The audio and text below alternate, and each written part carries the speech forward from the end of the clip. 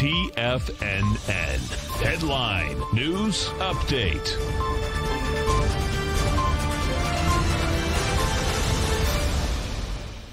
Good morning, everybody. I'm Tommy O'Brien, coming to you live from TFNN, 9 a.m. Eastern Time, Tuesday morning. 30 minutes to go until that opening bell, and we got markets slightly in the red to kick things off. S&P's minus by about two points right now, 33.43.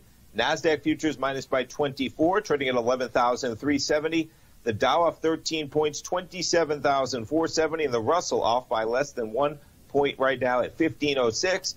Gold contract up a bit, up about eight dollars at eighteen ninety. Silver up thirty five cents at twenty three ninety six. We get the crude contract minus twenty five cents right now at forty thirty two. Notes and bonds a little bit of higher price and lower yield. The ten year sitting right at that one thirty nine twenty one mark.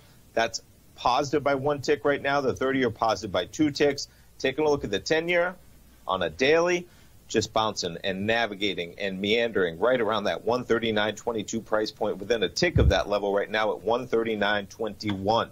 All right, jumping over to the VIX. Interesting action in the VIX as a pretty strong market yesterday, and you actually saw an elevated level in the VIX all day yesterday, sitting at around 2650. We're currently just above that level at 2679. The S&Ps are minus by two points right now, but the VIX staying relatively elevated all day yesterday, right? You look at where we ended on Friday action, you're approaching 26. Somehow the S&Ps trade up a full percent and a half, and you sit right at that level in the VIX at 2650 all day yesterday as the market was in great territory the whole day, but the VIX not able to pull back. Uh, the price of insurance staying high, even with the market trading up one and a half to two percent, which is not usually the case. We have a debate, of course, going on tonight. First presidential debate. What else is on the table?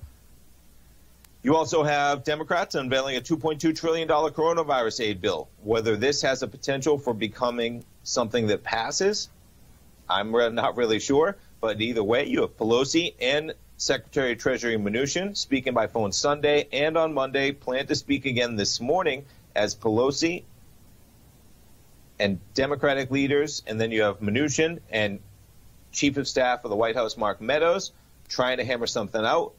You would then, of course, have to get this through the Republican controlled Senate. Whether that happens in the next 35 or so days, that's the million dollar question right now. The market would love that to happen. We're sitting at 33.43. Prior to COVID, you're talking about 3,400. So the S&P is within about 50 points of where we were before all this started. Uh, with everything going on, non-farm payrolls on Friday as well. We get some Fed speak today as well. Stay tuned, folks. We're going to bend Larry Pesavento. It's coming up live next with Trade What You See. We'll be right back.